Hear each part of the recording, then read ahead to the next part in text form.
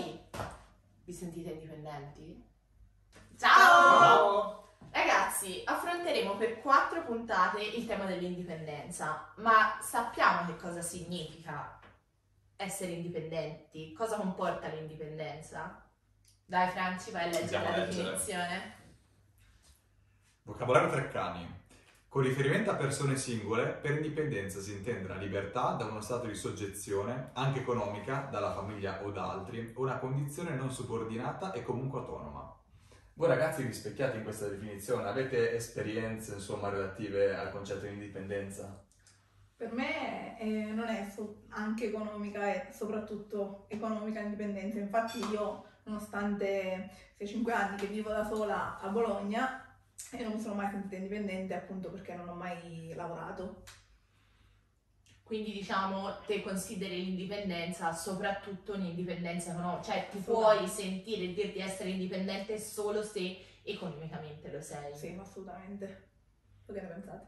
Per me ci sono tanti modi per sentirsi indipendente, sicuramente essere indipendente economicamente te lo fa sentire un po' di più, però anche altri fattori come saper vivere da soli ehm, per me ti aiutano molto a farti crescere, infatti io non vivo da sola e quindi non mi sento totalmente indipendente anche se lavoro.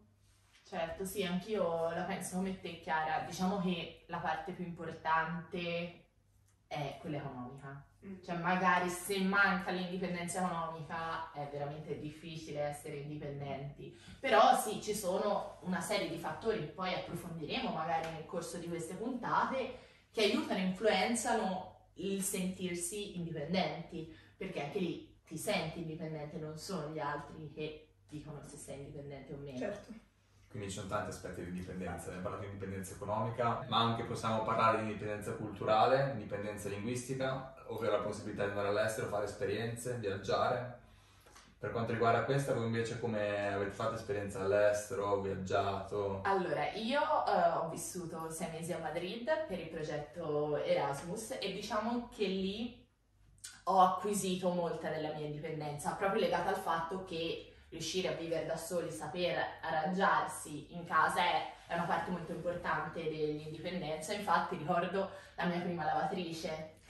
Infatti di solito a casa è sempre mamma che fa la lavatrice, invece sono arrivata a Madrid e ho detto ok, ora e invece poi anche lì è stato molto più semplice di quanto pensassi, perché uno pensa, oddio, vado a vivere da solo, sa come farò, invece non è tutto abbastanza naturale, ecco. Penso anche al discorso trasporti, cioè prendere l'aereo, Esatto, metro, esatto. quello aiuta. E però ti senti veramente figo quando lo fai, che sei da sola a prendere un Ma aereo. poi io, venendo dalla Sicilia, prendo ormai l'aereo per scendere, per salire ehm, spesso e ci fa l'abitudine. Per me è come prendere un autobus, diciamo. Certo. Certo. Sì, sì. Però non è scontato. Chi rimane sempre nel proprio paese, anche prendere banalmente l'autobus per, per venire in centro a Bologna è un qualcosa di diverso rispetto alla propria routine. Quindi sicuramente le esperienze all'estero così ti rendono normale aspetti che per altre persone non lo sono, non sono scontati. Assolutamente. Io so anche Chiara è stata all'estero, vero? Sì, anche io ho fatto l'Erasmus e diciamo che mi ha dato una bella lavata di testa, ma forse ne avevo bisogno. Ma più, cioè, più che l'Erasmus, anche il fare pendolare per venire all'università mi ha aiutato veramente tanto. Infatti ogni volta che scendo e arrivo a Bologna dico wow, anche oggi sono venuta fino a Bologna. Da sola. E vengo tre Spacca sulla spalla.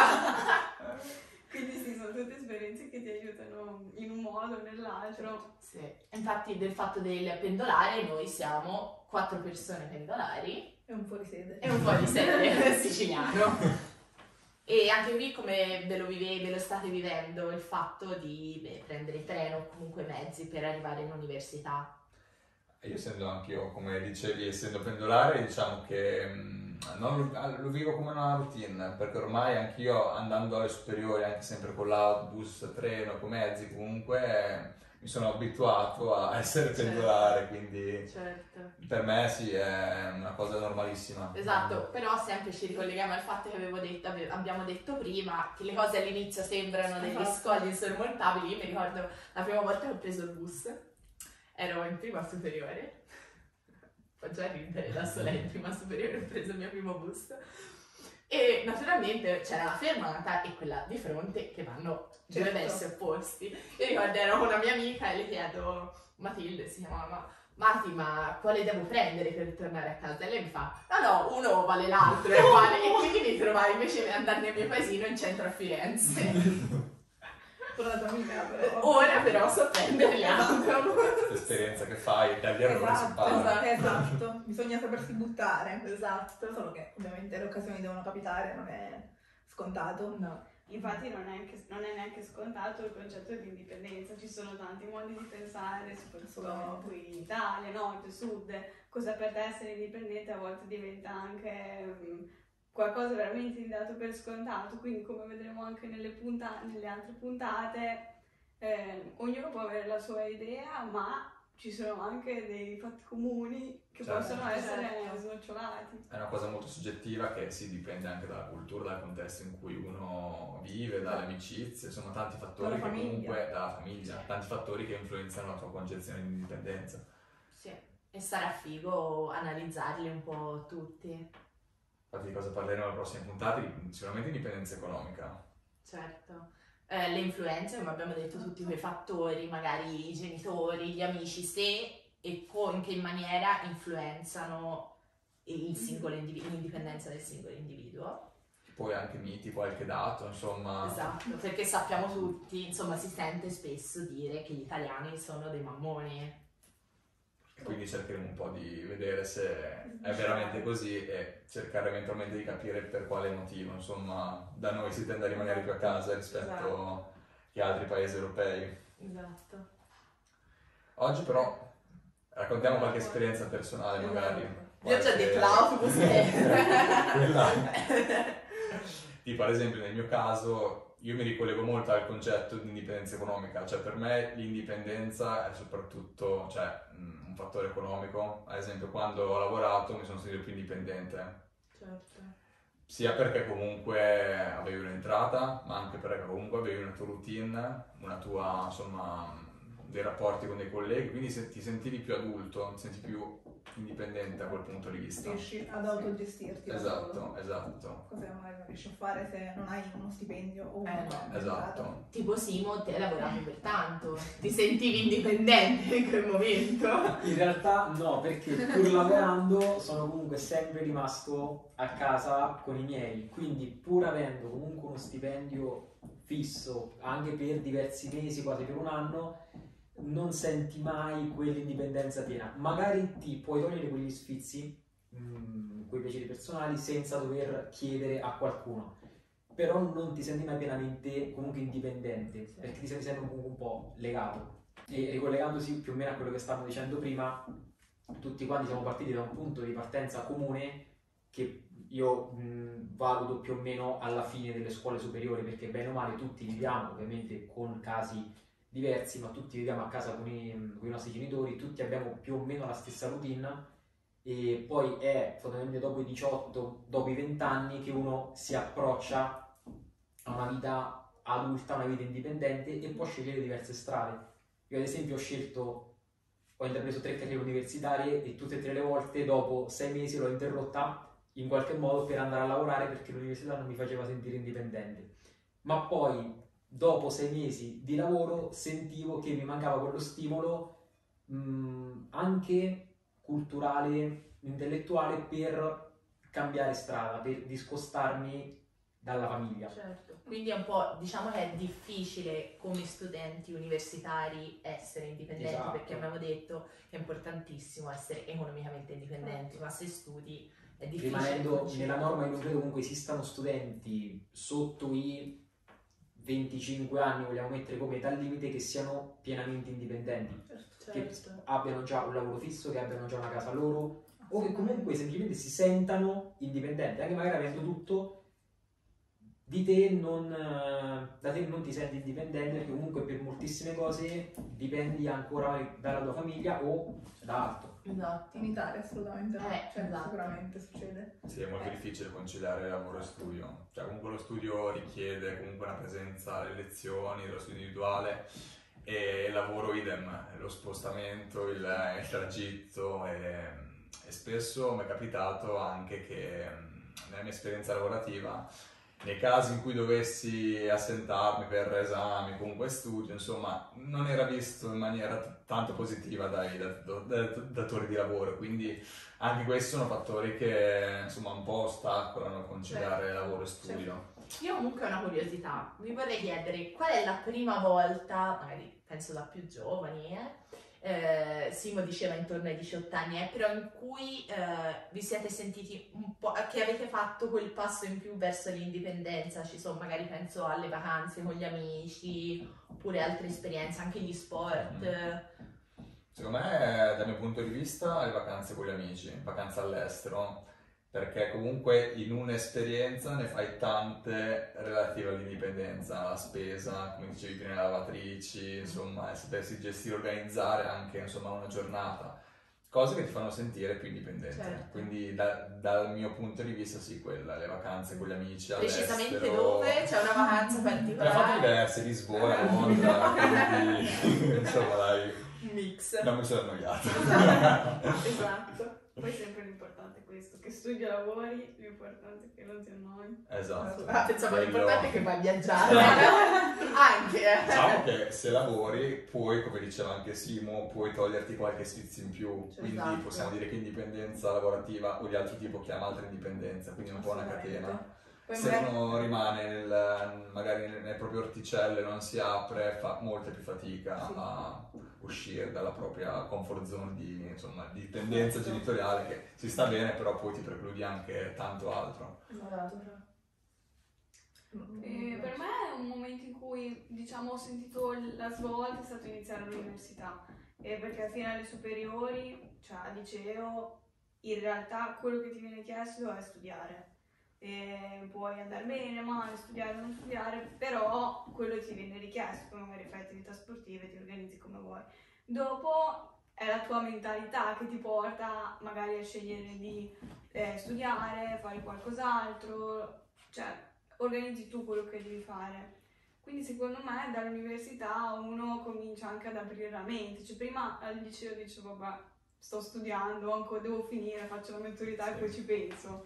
Dopo, come Bea che ha deciso di venire qua o io che ho incominciato a lavorare, cioè dopo decidi tu quello che vuoi fare. Quindi secondo me da lì hai la Sì. scelta nelle tue mani. Sì. Poi è vero, ci sono opportunità e altre opportunità, però secondo me da quel momento. Anche proprio come è strutturata l'università rispetto alla scuola superiore, cioè Sì, lì hai ogni giorno verifiche, c'è un po' il Certo. professore che ti indirizza lo studio, qui invece anche nello studiare sei tu che dici ok oggi mi organizzo così, domani Certo. faccio pausa, quindi c'è proprio Sì, anche sì. l'impostazione ti porta ad essere più indipendente.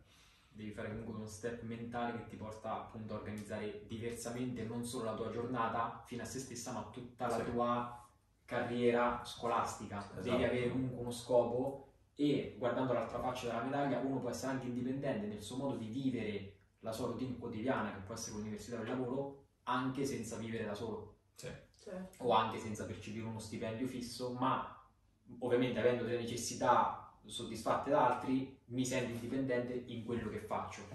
Quindi è sempre piena di sfaccettature diverse.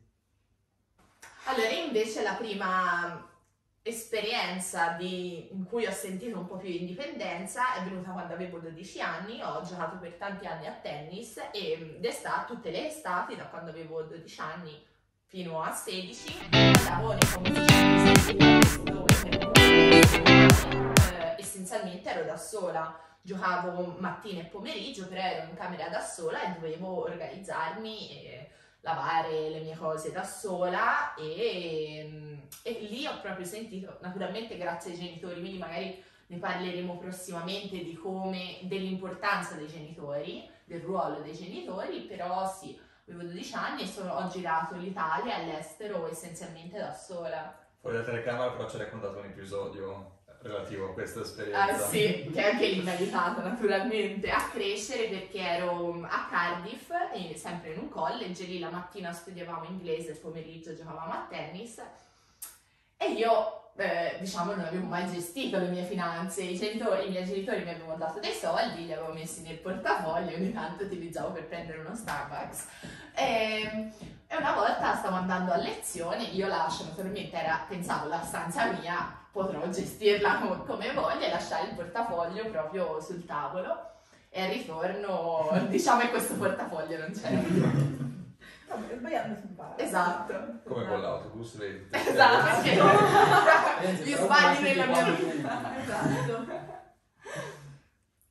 E Per quanto riguarda me, il primo momento in cui ho sentito di essere più indipendente è stato quando ho rinunciato agli studi la prima volta. Perché anche te gli sbagli tanti, eh. Infiniti. Ero in giovinezza. dai. Esatto. Ma sì, perché tu finisci il liceo, come diceva anche Chiara prima, non hai un pensiero Sì, fondamentalmente, sì. la prendi tutto molto alla leggera. E per quanto riguarda il, il, um, il futuro accademico, non ci ho mai pensato fino al 15 agosto. Il 16 agosto, dice, cosa facciamo di noi? Cosa sarà di noi? Ci siamo iscritti alla prima università che ci è capitata sotto io e due miei amici. Tutti e tre a gennaio, finita la sessione invernale, non avendo dato un esame, abbiamo deciso di rinunciare agli studi. Ma mh, nonostante comunque questa decisione sia nata da una stupidaggine fatta sei mesi prima, mh, l'averne preso coscienza e anche l'aver comunque cercato un lavoro subito dopo due settimane per riparare comunque ti fa sentire più maturo, più indipendente rispetto a come magari eri anche solo sei mesi prima. Questo è proprio il cambiamento, no? Esatto. Io invece eh, la volta in cui sono sentita indipendente sicuramente è stata quando sono arrivata all'università, e, ma infatti vivendo da sola, lontana dalla mia famiglia, eh, mi sono abituata e anche quando torno giù magari ehm, sento un po' eh, la mancanza della mia indipendenza quando sono qua, quindi eh, sì, forse, anzi sicuramente è più comodo vivere con i, con i propri genitori, però eh, l'indipendenza è una cosa difficile da sacrificare una volta che la raggiungi. Sì, sì, ti capisco. Io quando sono tornata dai sei mesi a Madrid è stata dura riabituarsi È a una vivere. questione appunto di abitudine. Esatto. Se tu ti abitui ad avere i tuoi spazi, i tuoi tempi, le tue esigenze, è difficile poi ritornare ad un contesto in cui devi comunque condividerli e adattarli Esatto. ad altre persone che vivono gioco forza con te. Sì. E ragazzi, io direi che abbiamo un po' parlato delle nostre esperienze per quanto riguarda il tema dell'indipendenza e ci troviamo la prossima volta e parliamo dell'indipendenza lavorativa, economica, che dite? Alla prossima allora. Alla prossima, ciao!